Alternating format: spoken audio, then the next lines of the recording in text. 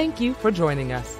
You are a part of an elite group who recognizes that black women's health should be at the forefront of the national conversation. We are mothers, daughters, activists, entrepreneurs, entertainers, corporate warriors, and more, who help boost the economy and often drive the national conversation. For 38 years, the Black Women's Health Imperative has strived to amplify our voices, help enact policy that protects us, research our issues, create programs that enhance our lives, and produce events like this one to ensure we keep the conversation going about the issues that matter to us most. So, let's get started with our program.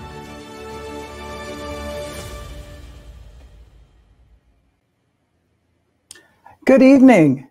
I'm Lisa Cunningham, and on behalf of the Black Women's Health Imperative, I want to welcome you to tonight's program. You know, when the topic of Black health in America is discussed, the voices of our LGBT community are oftentimes not included. And it's painfully obvious when we look at the overall health disparities. But for this event, we are bringing together a group of change agents to share their experiences and shed light on what it will take for us to make real progress with regards to LGBTQ health in America for the future. First up, I want to bring up a special guest, um, Dr. Elijah Nicholas. Dr. Nicholas is a 24 year veteran, okay?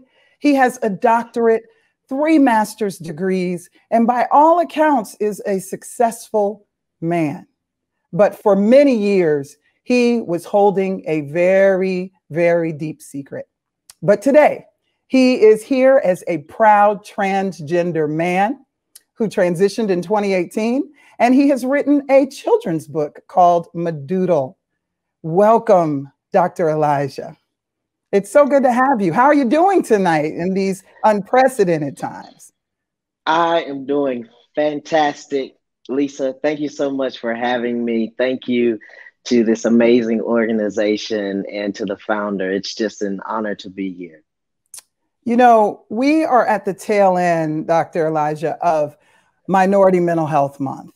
And I know you sit here today happy and proud, but take me back to 24 years ago when I know that was not the case. Absolutely. So I joined the military when I was 17 years old.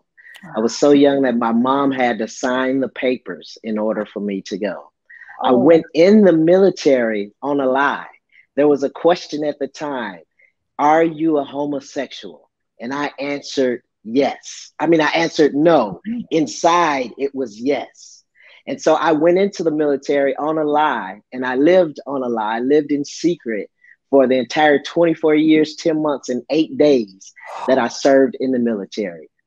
And now, mental that health. That was Don't Ask, Don't Tell, right? Yes, I retired just before Don't Ask, Don't Tell was repealed, and so I served in a in, in an environment where it was okay to uh, be a lesbian in secret as mm. long as I didn't tell anybody. Wow, that is really quite a journey. And so now, you know, what was the epiphany where where did you finally realize that you needed to transition? Because for many years you identified as a lesbian. So when when and you transitioned in 2018, when did you make the choice? So I retired in 2012, and that's actually when I started my mental health therapy. Because being serving as a senior officer in the military, a mental health counseling was shunned upon. And mm-hmm. so I didn't start mental health therapy until 2012. And over the course of the next several years, I went through that therapy. And I actually started in 2017 therapy that was specific to my gender transition. And so I'm a mental health advocate. And I think that it's imperative that we all have mental health, but specifically if we're going through a transition like that. And so I got to a point of no return. I got to what many call rock bottom. And I just could not live not only in silence anymore, but I got to a point where I met suicide several times. I met, you know, uh, drinking several times, and I just got to a point where I couldn't do it anymore. And I chose to live in my tr- my truth. I chose myself, and I chose God. Wow. Now, now I'm thinking through that process. Then you've been through our healthcare system, and I will admit, this week I just had my first mammogram, and I was anxious and and uh, a lot of different feelings about that. Um, because as a gender nonconforming person, certain acts just make us just quite frankly feel quite uncomfortable. And when I went into the room and I was given a pink robe to put on, it solidified my uncomfortableness even more. But I'll tell you, when I got in there, the technician handled me with care and respect. And I know that that's not always the case. Tell me, have you ever had any situations with regards to your providers or in our healthcare system where you said, boy, we gotta, we gotta do better? Certainly. Uh, congratulations on your first mammogram. I think Thank that you. is huge. Um, I've had experiences that have not been uh, to my liking, if you will. I have to say and give a shout out to the Veterans Administration. Uh. President Obama implemented some uh, policies that got us to where we are today. And so I have an amazing healthcare team at the VA. However, there are still some areas where we need a little bit of training, education, and enlightenment. And so the most uh, infrequent or most frequent times that I've experienced negativity, if you will, as it relates to my gender, gender transition has been when people are not familiar with my pronouns and my name. My pronouns are he and him. And so if the VA records are not updated, something as simple as referring to me still as ma'am or she or by my old name can trigger me and I can go right back down to that that mental health road. So while we've come a long way in the VA system, we've got a long way to go. Exactly. And that is a theme that I hear quite frequently from many in the trans community. But on a better note, I have not read it, but I know that you've written this children's book.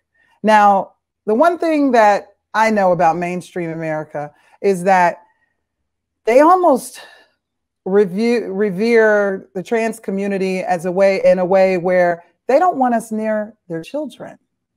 Um, they're scared when trans people come around.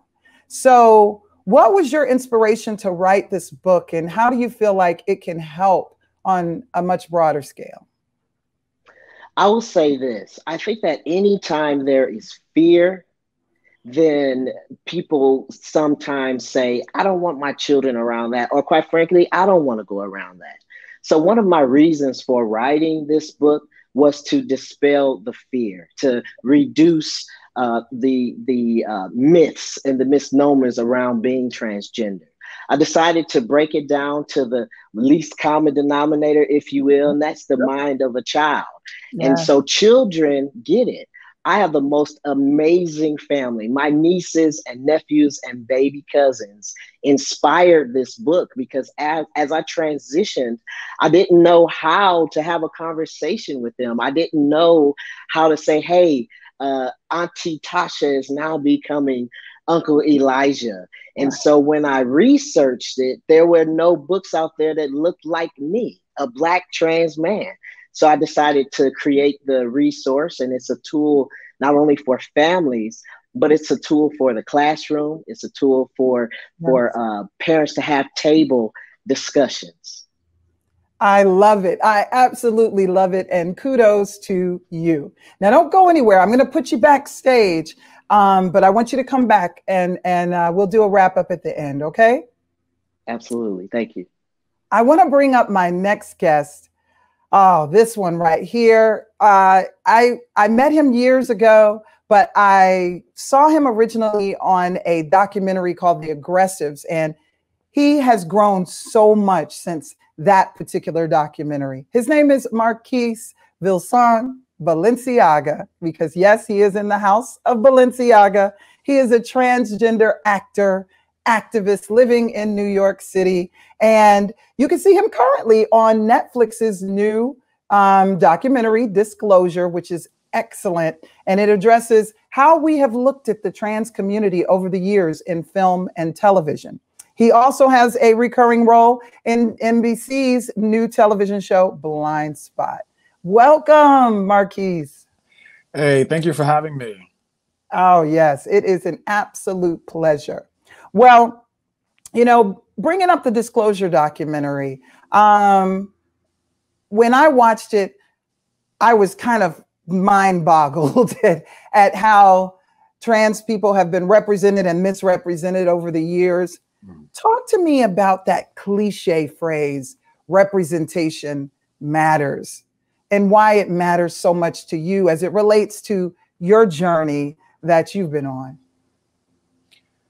Well, I think to piggyback off of Dr. Elijah, right? Like the creation of a book that allows you to see yourself, allows a child to see themselves. I think representation is is exactly that when we talk about television, film, media, books, sports, politics. Um, I think it's about not just seeing yourself, but also the possibility for your future. It's it's extremely important.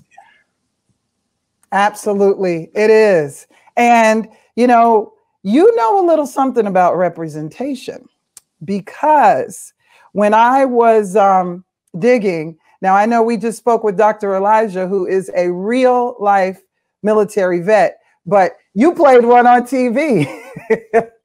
and you played one on one of my favorite shows, Law and Order SVU. Tell me a little bit about how that came about that that specific episode um, was around uh, a sergeant in the military by the name of Jim Preston, and uh, as it have you, this in particular episode, there was a sexual assault that had taken place um, with a with a young white girl, and he happened to be with a group of men that actually sexually assaulted her.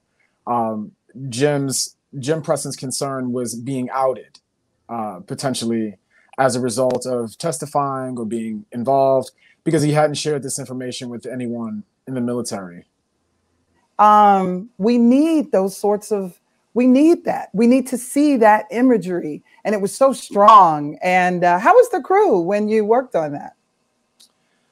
Uh, for the most part, I had a pretty good experience. I think more specifically with the creative team. Um, unfortunately, not people who are always in hair and makeup or you know um, as privy or know what's going on. But the overall team, the writers' room, um, director, producers, everyone for the most part, I had a very good experience to be perfectly honest with you. And in fact, when that episode aired, uh, Mariska Hargitay, she called my cell phone directly to say thank you for my performance, which was very nice. Uh, but I had a good experience. And oh, also, just to ad- address something really quickly, I actually did serve in the military as well too in real life. Ah. Uh, the the the relationship for me was not uh, particularly a good one. I mean, I don't mm. necessarily promote my own experience, but for me, it's it's more about the administration. It's about this idea that somehow, as a trans person, you cannot authentically exist, you know, in your own sense of self agency and be able to do your job. And when that episode aired, in fact, it was I want to say a month just after the uh, the administration 45 i'm not going to say his name but 45 rolled out that trans ban in the military and so the conversation was which it was really that much more important and mm-hmm. significant mm-hmm. not yeah. not that we did not need to have that conversation in the first place but i think that the moment that there was this attack very specifically on trans folk in the military you know just working on this episode at that time was like okay here's here's a clapback right yes Absolutely. The clapback. And yeah. I love film because it lives on and on and on. So kudos to you for being able to use your art to, um, you know, as, as, as a protest. But I know that you are actually out there in real life um, on the front lines with the Black Lives Matters uh, trans community version of that. Mm-hmm. Tell me a little bit about what that experience has been like. And, you know, do you feel like you're making any progress? Hmm. I don't know if I would say that, you know, progress is necessarily being made more than it is really about awareness. Okay. You know, I, I it is really interesting to be a black person standing in the middle of two movements that are happening that meet the intersections of my identity and the communities that I come from. So the Black Lives Matter movement really centering and focusing around police brutality, but the Black Trans Lives Matter movement is really a conversation about the intraracial violence that is experienced among the, the trans community and particularly trans women of color, definitely Black trans women experiencing violence at the hands of Black men yeah. right? Like that's a really large and loaded conversation, I think, to be having. So I don't know if there's as much quote unquote progress in the way of it not happening as much. I mean, in the last two weeks, if I'm correct, I think we've seen at least nine black trans women murdered in the last two weeks, in addition to a black trans man that we're just finding out about who was actually murdered June 15th. Right. right? right. So um I, I just feel like it's an ongoing conversation, and you know, to be actively involved in what that looks like is it's really about awareness, and it is about yeah. forcing Black folks to also look at ourselves, to be yes. honest about the transphobia, the homophobia, this sort of like real specific disconnect from queer plus community that says, well, we can't have this conversation right now. Yeah. Maybe y'all y'all need to wait because right now it's all Black Lives Matter. All of us are being attacked. You're right. All those things are true. Yes, and trans communities, specifically black trans women, are being murdered at the hands of black men. You can't you can't not have that conversation. Even That's in terms right. of, of abuse of women, black women. Yes. Literally 92% yes. of black women, when they experience violence, trauma, sexual assault, or anything, 92% of that is intraracial, I mean it's coming from black men. Right. Mm. Oh, I could hear you talk forever about this because I know that whoever is watching needs to hear it. So I'm going to bring you back. I'm going to take you backstage for a minute. And um, I hope you join us in just a few minutes for a, a wrap up. Okay. I want to bring up my next guest, and it is Dr. Cwanza Pinckney. Now, Dr. Cwanza is a nationally recognized board certified physician, but she's also a DJ. How cool is that? and she's an advocate for music as a therapeutic adjunct to medicine with a specialized focus on brain wave music therapy, which can help you improve focus, concentration, and it might even help you mm. with your ADHD. That's powerful. Welcome, Dr. Cwanza. Thank you. I'm so excited to be here. Thank you so much for having me. I'm I'm just blessed to be in the building with such an amazing group of people. You know, I was happy to have you um, because you just I love people that have so much depth. And from a mental mm-hmm. health perspective, I mm-hmm. know that there must have been something for us to have a Dr. Cwanza and a DJ Code Blue, right? Talk to yeah. me a little bit about that piece of of mental therapy through music. Well, I mean, I think it's true just to the nature of the conversation that we're having, right? We're not all one thing. We're not all one um, one layer. And I think what I found uh, after so many years of school and so many years of just rigorous training was that you know I'm not just a physician. I'm also a proud lesbian. I'm also a lover of music. I'm also a DJ and I just felt it was important for me to express those things because a lot of times in healthcare, um, as we're as we're seeing through COVID, which was a crazy experience to begin with, is that sometimes we're just locked into a bubble, and uh, you know, COVID has really shown us, um, you know, a lot of the problems in healthcare with supply chain and so on and so forth. And I, I didn't want to be locked into that, into the little matrix of being just, you know, the doc in the box. What can I say? you and I need to stay out the club a little bit. you are definitely not the doc in the box. But on a serious note, though, mm-hmm. um, you are in the medical p- profession. We know that medical bias exists.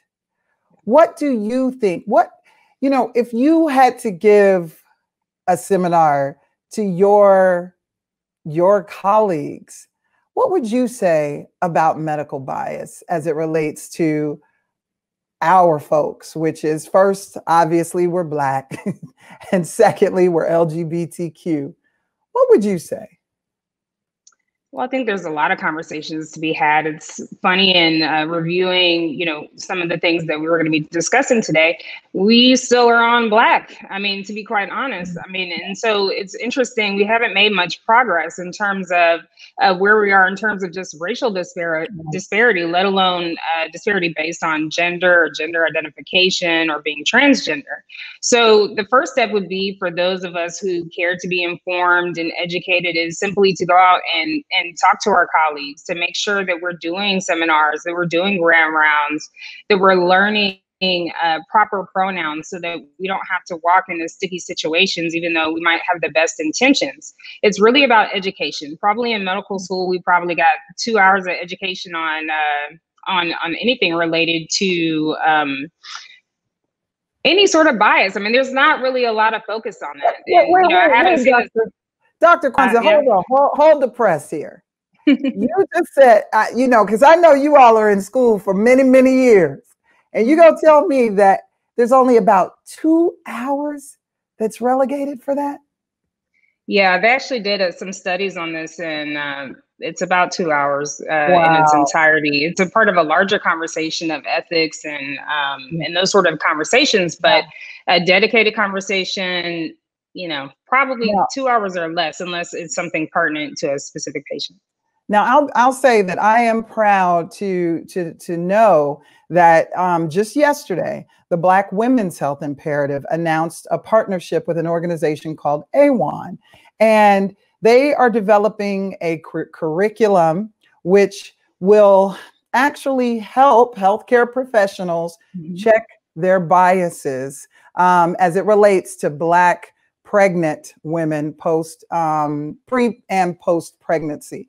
And so that is one of the things I always like to tell people when I talk about Black women's health imperative that we are constantly doing the heavy lifting. And that's such a mm-hmm. heavy lift developing curriculums. But now, with you saying something like that to me, I see that's really important because if that can be put into the curriculum, then we can have that for another subject and another subject and another subject.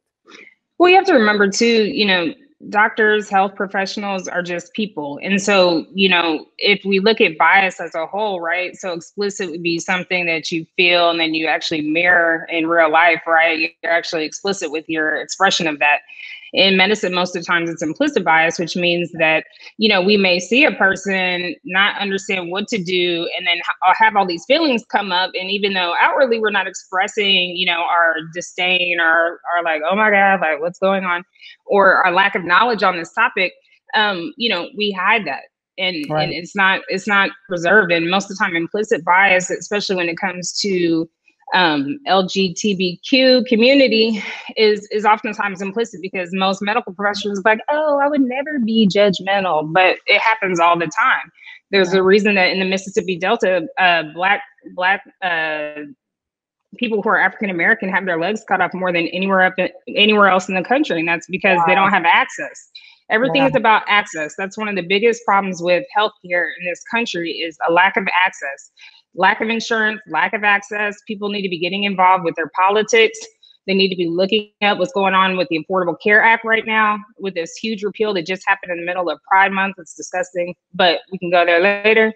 Um, but there's so many things going on in the world that we can't get diluted from, and it's very important as um, as healthcare professionals, at least those of us who do care and who are informed, is to really to share with other people. Um, it, it, and it's just basic. And I think basic respect um, is something that, as a patient, if you're going through this, is that you can demand of your your physician. Um, and it's tougher in rural communities. Yeah, that was my next question, mm-hmm. actually. Mm-hmm is what can patients do? What can we do to advocate for ourselves? Right. So most of the time, and although it's an unfair burden, you have to be your own best advocate. And so oftentimes you may have to write out a little summary of exactly what your preferred pronoun is because people we expect healthcare providers to be on so on top of things and i can promise you that they're not um, unless they're well versed or in a community that um, has you know an active community um, uh, you can write down what medications you're on what health conditions you're on if you've transitioned what medications that you're still taking so that we can guide you appropriately. And so in some ways by writing it on that piece of paper it sort of eliminates some of that bias because you're you're mm. you're keeping everything sort of logical. You don't leave room for interpretation. Um, because that's where problems start to come in.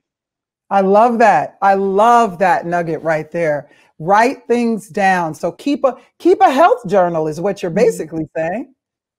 Right. Yeah. I am and it's just so important that people understand that you know, if you cannot talk for yourself, bring somebody who can advocate for you.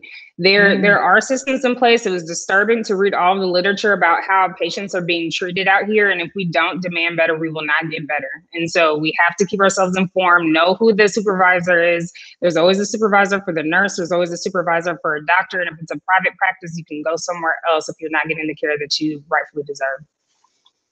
And Thank then tell you. all your friends about it on social media. Yes, social media always. That gets people's reactions. I'm I'm so amazed at how when somebody posts something on social media that the actual company, you know, will reply mm-hmm. because they don't want the uh, negative press. So Correct. thank you for that last nugget as well. Okay, Dr. Cwanza, I'm going to send you to backstage for just a minute, but we want you to come back. And um, I'm going to bring up my next guest, who I have known for years and who is a native of Atlanta, and I just adore Miss Lawrence. Miss Lawrence is actually I, I I forget this, you know, that you're a hairstylist by trade. Former, uh, yeah.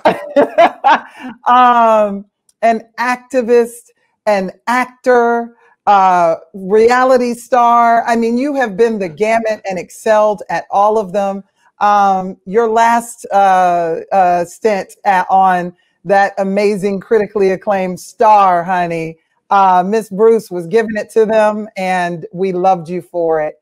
Thank it's good to see you. You good? Good to see you too, Lisa. Thank you. Absolutely. Now, you know, I was looking at an interview you did recently, and I, first of all, I was just so proud of this moment for you and Fat Joe to do that. So that was number one. Fat Joe interviewed Miss Lawrence on um, his new show recently, and you know, I just felt like that's what we need. Yeah. we need that intersectionality going on there. Yeah. And um, you said that you know, Fat Joe was like, "Hey, you know, when did you know you were gay?" And you said, "Hey, baby, I came out gay with lipstick on." yes. Oh, yes. and I and I love that because you know there are still some people who think that you know it's this argument of nature versus nurture and it makes me think about this whole uproar over Dwyane Wade and Gabrielle Union and the way they are raising Zaya. Yeah. What would you tell, you know, the naysayers? What would you say to them, having been that kid? What would you say to them about, you know, how people should raise their young trans and LGBTQ kids? You know, it's interesting. When I did that interview with Joe, um, which is not the first time I've had to talk about uh, Dwyane Wade and Gabby and um, their daughter Zaya. Um, but every time that I'm asked about it and asked, the, the main question is, do you think it's too early for them mm. to allow, mm. for them to allow mm. their daughter Zaya to identify as trans? And my question back is always, well, what what, what is a when is a better time? Yeah. Tell me when is a better time. And and I, as I said in my interview with Joe, I think most people uh I don't I think most people, parents especially, um, I don't think it's about when the right time is. I think it becomes a, a, a question for themselves and how they feel people will look at them and their family. And it it it then becomes less about the child and about them. And a lot of a lot of people love to refer to uh, the Bible when it comes to um, gender nonconforming kids, black gay kids, um, and you know it's so funny. And it, I just think that they use it as a very easy way out. Yes. This very false idea that the Bible speaks against who we are as spiritual beings, which it does not. I think people have interpreted the way that the word is to make themselves comfortable. And if you are really, really about the word and the way that you interpret it, then you wouldn't do anything, anything wrong that goes against what the word of God says or what the Bible says. So, you know, it's it's a lot of work that has to be done in yeah. families. Um, there is no blueprint uh, for parenting. But what I will say, what I think is very easy, but very hard at the same time, is to teach your children to lead with love, to yeah. lead with self awareness. And if you want to go biblical, if you want to, you know, be this spiritual uh, leader for your children, it's very simple. You teach them to thine own self be true. Mm. And to thine own self be true is not what makes you comfortable. It may make you very uncomfortable, but they're being true to who they are. That is absolutely beautiful. Yeah. Wow. Wow. Sorry, I love so, wine. So so you know when you when you think about the impact that you've had and, and your friends have had i know that a lot of you all do have straight friends um, how important is it for you do you think that we get outside of our little gay lgbtq bubble and cross the aisles and and make sure that we are interacting more and have more straight friends and vice versa yeah you know, it's um, it's funny. I've always had a lot of um, cis friends and heterosexual friends, and I think it's it's very it's okay to be friends with people that may not fully understand who you are. Right. I think it's important that they fully respect who you are and that they um and that they honor who you are and who you feel you've been called here to be. And yep when we think about, or when I think about uh, today, as I was reflecting today on the life of Congressman John Lewis, who's a real, real uh, champion and hero for civil rights, human rights, gay rights, you name yes. it. Yes. Um, people like him set a real example of what it means to not see gender, not see color, not right. see uh, who you choose to love when you're looking at someone and wanting to embrace them and love them. And I think at the center of every major movement from the civil rights era to the gay rights era, we have always been there. We've always been there. Yes. We've always championed for our heterosexual cis brothers and sisters. You yes. know, when yep. they hurt, we hurt. Yep. You know, and um, I don't think it's a I don't I don't think it's a, a bad thing to be friends or you know to have relationships with people that are cisgender, heterosexual, what have you. I think that further uh, normalize the idea that we can coexist and that we can love each other um, and take care of one another as we are assigned to do. When That's we come right. into this place, when we come, when we're born, we are here by assignment to love to um, to to serve and to heal the sick. That is all of our assignment. It is not to judge one another. It is to do just that. And I think if people fully understood that and actually practiced it, um, I don't think we would live in a world that we live in today that is led a lot by greed and hate. Oh, you and that brings up my last question for you.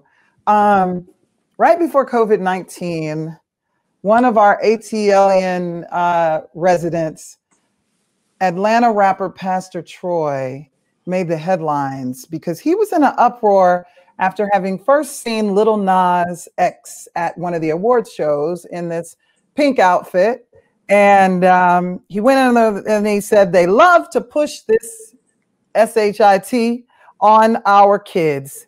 He also recounted an incident at Applebee's he said the other day at Applebee's had some punks kissing and laughing, eating mozzarella sticks. He said, First thing my 14 year old son said was F Applebee's. Get this, and it brought joy to my heart. Mm. He said he sees it, their agenda to take masculinity from men, Black men especially. Now, what would you say to our cisgendered community that says that there is a gay agenda at play in this country?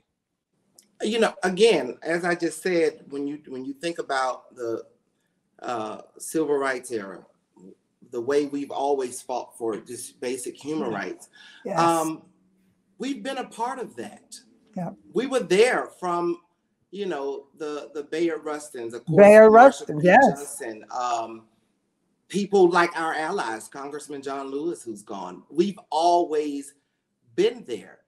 We've been a part of the evolutions and the changes. Now, what happened was, I think, is that when we got to where we were going, and we still have a, a, a long way to long go. I think when we got to where we were going, somehow we were left, meaning people of the LGBTQ experience, were left out of the equation when it comes to mm-hmm. real civil rights and human rights. Mm-hmm. Mm-hmm. And so this idea that we there's a gay agenda and I've heard that oh Obama did so much for y'all got everything da da da da da.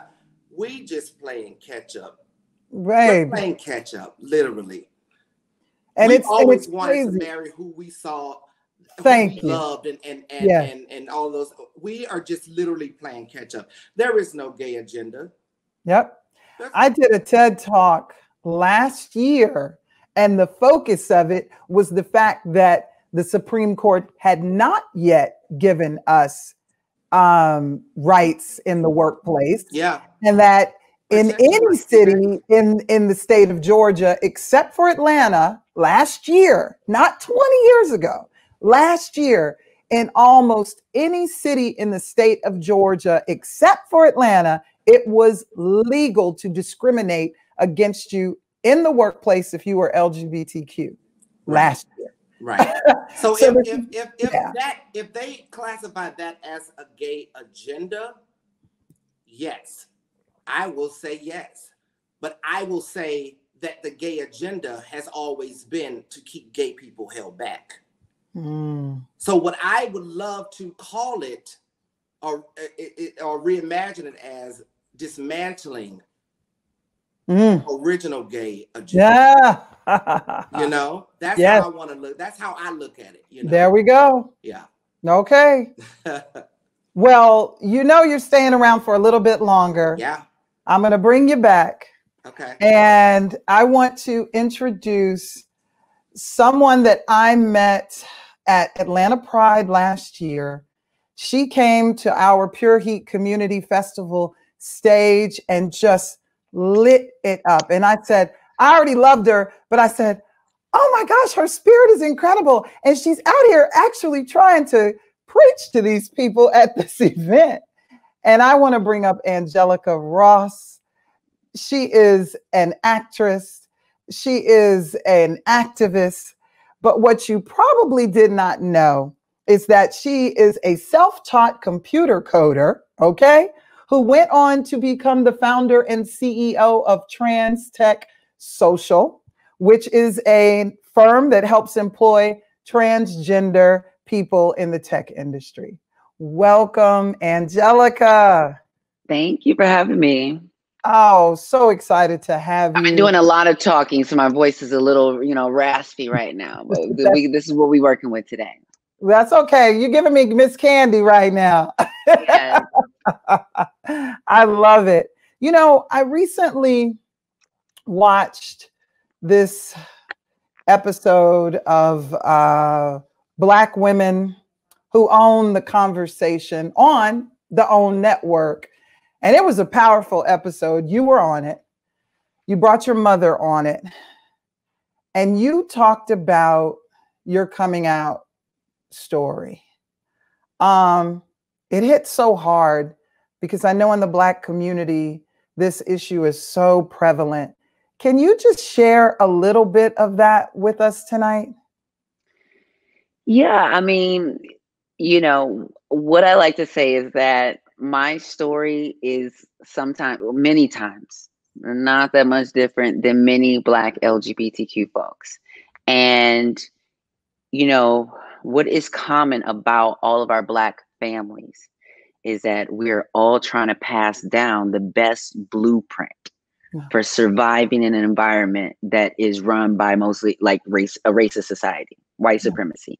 And so as we're handing down that blueprint, your parents are saying so when your kids are starting to tell you who they are, and it's like, well, mommy, I want to be um I want to be a dinosaur. But no, we can't be a dinosaur in this right. world. You know, you can't do that. So it's it's like, well, when you want to be a singer and I want to be this and I want to be that, and you start hearing the odds, they start telling you what the, your mm-hmm. chances mm-hmm. are at success if you do these things. Your best bet is to do X, Y, and Z. So then when you start to say, well, I'm gay or I'm trans or I'm this, they're like, why would you want to put one more mm-hmm. strike against you? Are you nuts? Like, why would you choose to do this? It's already hard being black. And so there's just a fundamental misunderstanding, I think, of one, that being LGBTQ is not a choice. Right. That it's not something that white people do, that in therapy. Like, no, therapy and um, identities are for all people. Um, and that also this is an opportunity for us as family units, as brothers, as cousins, as you know, anyone who's close to anyone who comes out and or invites you into their lives, yeah. to the authenticity of their lives. It's an opportunity to be the first person to show them something different. Yes, absolutely. Oh, it really is. And you have been out there doing just that. And that really brings up my next question is that, you know, there was an alarming statistic I recently found out that over 90% of trans people have felt discriminated against in the work workplace. Now, I want to repeat that 90%. Okay. And, you know, you understood the dire connection between mental physical health and our workplace. And what did you do to help combat this? Well, I I founded Trans Tech, um, and you know, yeah, it's just one of those things where, unfortunately, for many of us, we have to uh, resort to various economies in order to, to survive, uh, street economies. Um, and that's just not unique to trans people. You know, it's a lot of Black people who don't sort of fit the respectability politics of this country understand, you know, what, uh, what it's like to um, kind of be up against such um, statistics employment mm-hmm. statistics when it comes to being a person of color. So I wanted to create a system that for me supports anybody regardless of what their aspirations, their skills, their gifts are. Um, if your gifts are in sex work, okay, girl, I just don't want you to get beat up while you're doing it. I don't want you to be in the line of danger. So maybe with the help of technology, we can get you behind a computer screen, or we can get you to be able to screen clients better, or we can get you to be able to um, learn how to do a subscription to your website and things like that. Um, to folks who go into coding and to graphic design, or to doing a podcast, being a YouTuber, doing video and television production. Um, there's just illustration. Um, everything that we do now pretty much involves technology. So my advice to everyone right now is kind of just get about the business of finding about finding out about what you're passionate about. What you're good at. Yeah. And then be great at it. Become mm. great at something. And then when you're great at that, tech the technology um, you know, will be a catalyst to sort of help you in that venture as well as that is how you advocate because being an advocate is definitely not a job that pays. I can tell you that. A lot of people on this panel can kind of tell you that it's not a it's not a consistently paying job. Sometimes you know they they pay you for the token. Sometimes yeah. you get that. But what it's about is being successful. Yep. Because people want to hear from someone who's made it, who's overcome the challenges specific to That's your right. intersections of identity. So, yeah. whatever they are, let it be an example of success. Absolutely. Oh, my goodness. I mean, you have done the work and you know, not to knock anybody who hasn't, but kudos to you for that. And um, let's segue to this the the the front end of of that, which is, you know, I spoke with Marquise earlier about the Black Lives Matter movement and how America is really coining the phrase that racism is a public health crisis, right? But I would venture to say that the Trans Lives Matter movement is a public crisis that you may agree with that statement. Um, why do you feel, you know, that transphobia is something that has to be included in the Black Lives Matter um, conversation? Simply put, because we're human. Yeah. And actually, this conversation is getting a little ridiculous mm. because mm. um, we're trying to figure out at what point is any of this acceptable. Mm. Uh, well, we're well beyond the point of unacceptable, and so, um, you know, when it comes to saying Black Lives Matter, I mean, I know one thing: you can't change the fact that I'm black. So, like, uh, I know I'm included in that. Right. Um, and I'm kind of getting to a point right now where I'm about to be some of y'all's worst nightmare. Oh, I'm about to be some of y'all worst nightmare. No, because there are just so many folks within um, black spaces who are really acting like the white people of our community. and they're behaving in ways where as black people we're looking at white people who are saying oh my god not my america i can't believe i've never are you sure this is going on and all this and we looking at them like Wait a minute. Where you been? Where have meanwhile, been? meanwhile, Kevin Hart, uh, Hill Harper. Yeah, I'm calling y'all all out by name. Woo! It's a list of y'all that are um gaslighting the hell out of us as mm-hmm. LGBTQ people and acting like we don't know. Oh, I don't know what y'all saying. It's just everybody. None. Let's not do this. Let's not act like we didn't all grow up in the same churches, in the same households, at the same kitchen tables, with the same sort of things that were passed down. Let's not. So mm-hmm. let's just start from a place to understand that either all Black Lives Matter or we will drag you to the promised land. Mm-hmm. Like you, you won't just get to get there skipping on the back on the works of all the work that Black trans people and all of us are doing. Yeah. You, if it's costing us, it'll, it'll, cost you. You're gonna get dragged. So you might not that Netflix can uh, special that might get canceled Ooh. until you learn how to um, play nice with all of us. Gotcha. Woo. Oh my goodness. Now, I could talk to you forever. We've only got a few minutes left. I want to bring everyone back out again and just get some last thoughts from you. Um, there's a lot to unpack, and we couldn't most certainly unpack it in one hour. But, Dr. Elijah, tell me what your final thoughts are tonight my final thoughts are um, you know i wanted to to be here so i could help um, dispel the toxic masculinity that mm. exists i think that it's important when we talk about healthcare that our masculine identified women our trans men. I think that is so huge for us to be invited to this table because mm-hmm. the reality is for me, I still have female anatomy. So I still have to yeah. go to the GYN. And what I want to say is to to to my siblings that it's okay to go to the doctor. Mm-hmm. Please get yourself checked out. Yes go to your physical exams get your breast exams get your annual exams because that that is what is going to save your life and make the, the world better for all of us. Oh thank you dr elijah for that. Uh, marquise what final thoughts do you have for me?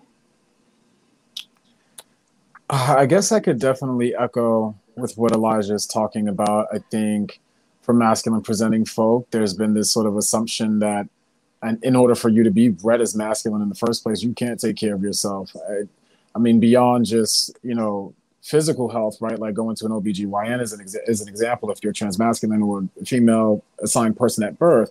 That's like one example of it versus maybe something as simple as like, I don't know, getting a manicure and a pedicure. This idea, I mean, let's be honest, right? Like this idea that somehow you're less masculine if you care about yourself, if you care about your body, but if you do care about yourself and you care about your communities, you'll do the thing of taking care of not just you, which then allows you to take care of others. So, yeah, Absolutely. Miss Lawrence, I'm gonna, I'm gonna, I, I got a question here that I'm gonna read here on the screen. How can we get more Black LGBTQIA plus voices and perspectives heard as opposed to the white privileged mainstream LGBTQ voice? Woo! Jesus. Um, you you unpack you making us unpack a lot at the end here. um, that's a very good question, and what I will say is when I talk about it, when we talk about um, having our brothers and sisters of the same hue, of our mm-hmm. hue, our mothers and fathers, um, having our backs, mm. whether you're in the heterosexual community or the gay community, having our backs. And when you see there is a lack of representation of us, we need you to speak up because you have a straight privilege that yeah. we don't have. And so we need you. Yeah. We, while I am so honored to be a part of such a dynamic panel of people, and you yourself, Lisa, uh, for hosting this, um, and and the Black Women's Health uh, Initiative, we cannot continue to have panels where we're just talking to each other. That's we right. We already know what each other's struggles, which what each other's struggles are. I don't come from the trans experience, but I know it. Yeah. My trans sisters and brothers have become trans, but they understand what my struggle as a gender nonconforming person is and what it has looked like growing up here in the South in a Bible Belt state, where you just pointed out that only in mm-hmm. Atlanta, mm-hmm. only in Atlanta were we protected from discrimination in the workplace, in the medical fields. Mm-hmm. And so we can't continue to have these side conversations with just each other. Right. Yeah. We need those that may be on other panels during this Black Women's Health Conference. We need the ones that I've seen on the other flyers. We need to all have a group discussion. We need to speak as a family and talk to each other as a family because as we've always learned since we were little oh we're stronger in numbers right we got to have each other are you my brother's keeper i'm my sisters my mother my brothers i'm about to cuss i'm sorry my sisters my brothers my daughters my sons my nieces my nephews i am everybody's keeper Hi, and i just ask that we as a community of powerful black people that we have each other's back. Yes. And yes. If we do that, if we are able to have the, the the the powerhouses in the black straight community to speak up on our behalf when they see when people like this lady that just asked this question when you see that there is a lack of representation from black lgbtq people in high spaces speak up for us yeah. we have this whole cancel culture thing oh. that we started, let's use it, even if that means using it for the chastisement of our own people. Mm. Use it. Wow. It's only so much that we can do on our and own. there it is. And having this conversation with just us, it's great. It's great. It's further in acknowledging what we already know about each other. It's further um, edifying the fact that we love each other. Yes, it's doing all of that, and that is important. But, but what the community? But we have to take this right here. Yeah. We have to take this right here across the aisle. Well, you know, Miss Lawrence, that's why it was very important as I was working with the Black Women's Health Imperative, which has been an organization yes. that was founded by someone in the LGBTQ community that but our base is much broader. So that. that's why I, I, I that's why I said we've got to have a panel with people that they're not used to seeing. Right. And so hopefully we have actually tonight tapped into people where we are not preaching to only the choir right. because right. yeah, that's I feel you. I feel you on that one. And thank you, thank you, Lisa, and to the Black Absolutely. Women's Health um, Organization. Thank you, Dr. Cwanza. Talk to me. Man, y'all got me fired up over here. I'm like, let's go do something. What we y'all want to do? Where we rolling to? Huh? yeah, we do. We need. Man, look, I'm I'm just saying, y- y'all are amazing, and I'm grateful to be on this panel. And I think for anybody who's watching, who's struggling, um, you know, if you are in a healthcare provider, you have a duty to to to treat people with love. I love what you said, um, Ms. Lawrence, about just about treating people with love and respect and kindness and and understanding that we're just one big human spirit. And if we can do that, I think we'll start to get more things right. And then if not, we just don't have to get loud and angry and and do what we got to do because you see that works.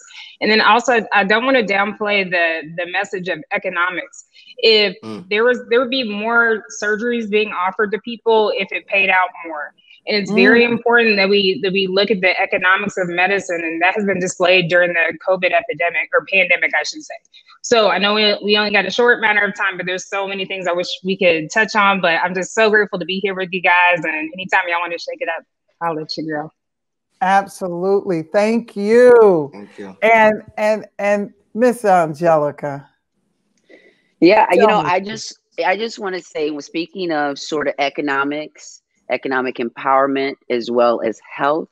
I am here in the great state of Georgia and where there's just so many black people and black entrepreneurs and everything and there's this there's this sort of illustration of freedom here in Atlanta. Mm-hmm. But um I just sometimes we get so complacent within a movement when we get things and when we get what seems like might be our 40 acres and a mule and we're good huh. or whatever the case is. But in Atlanta, if we want to call this a black Hollywood, how are we going to call this a black Hollywood when in the other Hollywood, they're not being arrested for smoking weed. They're actually making money off of it. When there's all of this money sitting in Atlanta on all of these black celebrities, and you're telling me y'all are not advocating for the legalization of marijuana when it would mm. economically not only help us as a community, huh. but it would free so many of our cousins and our um, people that ain't working in the business, that don't ain't protected behind the gated communities. So let's have a real conversation about liberation here in Atlanta. I'm ready for it, and across you know, the country. Yeah. And I'm proud to sit on the mayor, along with Miss Lawrence, on the mayor's LGBTQ advisory board here in Atlanta. And I will say this about Atlanta once again is that we finally decriminalized yeah. you know marijuana where it's it's it's um you know a misdemeanor, it's a misdemeanor now, yeah. Yeah. And so other meanwhile people are still making money off of it. I just want to it's 2020 and there's two right. different realities going on. And john boehner who is our former representative speaker of the house is now talking about buying and selling stock in marijuana. What is really going on, people? Yeah. Like I'm done. I'm done. Y'all playing in our faces. But that's also mm-hmm. you black cis men and women too. I'm done y'all playing in our faces. We're gonna start calling a thing a thing and we're gonna get to the freedom line together. We're gonna do it. We're gonna heal. Beyonce. That, well, you know what? That ends it right there. Is that we are eventually going to heal. I know that when John Lewis, he was mentioned earlier today, and I know many of us tuned in for his funeral. One of the last remarks he made um, when he went to the Black Lives Matter mural in DC. So up till the end now, I want everybody to know that up mm. till the end, he was in the fight, right? Mm. And so that is our challenge tonight. And our and I, I want to implore everyone to just stay in the fight. But up to the end, he said, we will get there.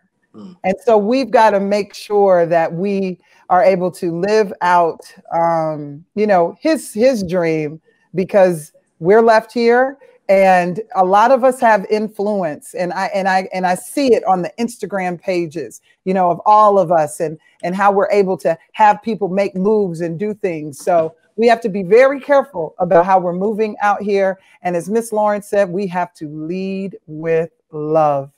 Thank you to everyone who came and who watched tonight. On behalf of the Black Women's Health Imperative, I would like to tell you good night and be vigilant. Thank you. Bye bye. Thank, Thank you. you. Sure thing. Ashe, y'all have a good night. Be safe.